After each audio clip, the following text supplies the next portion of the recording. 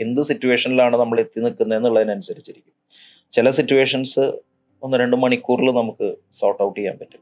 ചില സിറ്റുവേഷൻസ് മാസങ്ങൾ എടുക്കും. ചില സിറ്റുവേഷൻസ് അതിലും കൂടുതൽ സമയം എടുത്തേക്കാം.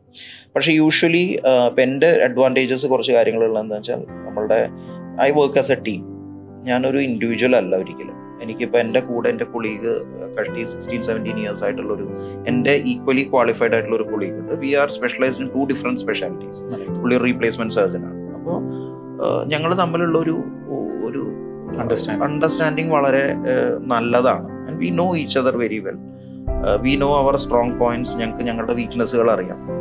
അപ്പോൾ ഞങ്ങൾ അതിനനുസരിച്ച് അഡ്ജസ്റ്റ് ചെയ്തിട്ടാണ് വർക്ക് ചെയ്യുന്നത്. അപ്പോൾ അങ്ങനെ ഒരാളുള്ളത് ഡെഫിനറ്റ്ലി നമുക്ക് ഒരുപാട് ഹെൽപ്പ് ചെയ്യുന്ന ഒരു കാര്യമാണ്. Number one second is your family support is very very important family also get stressed at times നമ്മളുടെ സിറ്റുവേഷനിൽ അവരും സ്ട്രെസ്ഡ് ആവുന്നുണ്ട് പല സിറ്റുവേഷനിലും ഇപ്പോൾ ചില സമയങ്ങളിൽ ഇപ്പോൾ ഞാൻ എന്റെ മോൻ വളരെ ചെറുതായിരുന്ന സമയങ്ങളിൽ ഇപ്പോൾ ചില ബിസി വീക്കുകളൊക്കെ കഴിഞ്ഞ് കഴിഞ്ഞാൽ നമ്മൾ വീട്ടിൽ ചെല്ലുമ്പോൾ മകൻ നമ്മളെ മൈൻഡ് ചെയ്യുന്നില്ല.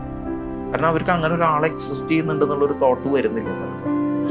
Family is also under stress പക്ഷെ നമ്മുടെ സ്ട്രെസ് മനസ്സിലാക്കുന്ന ഒരു family is very very important number two three you need to have ഒരു സെറ്റ് ഓഫ് ഫ്രണ്ട്സ് ഒരു ഫോൺ കോൾ അകലെയുള്ള കുറേ ഫ്രണ്ട്സ് ആവശ്യം.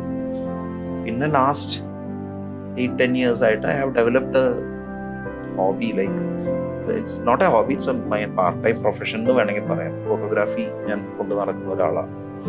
So I make it habit that അല്ല I make it a policy that ഒരു two മന്ത്സിൽ ഞാൻ five days I go for some photographic travel അത് is a sort of stress reliever അത് കഴിഞ്ഞ് വന്നാൽ നമ്മുടെ പെർഫോമൻസ് ലെവൽ ആക്ച്വലി കുറേ കൂടി ബെറ്റർ ആണ്.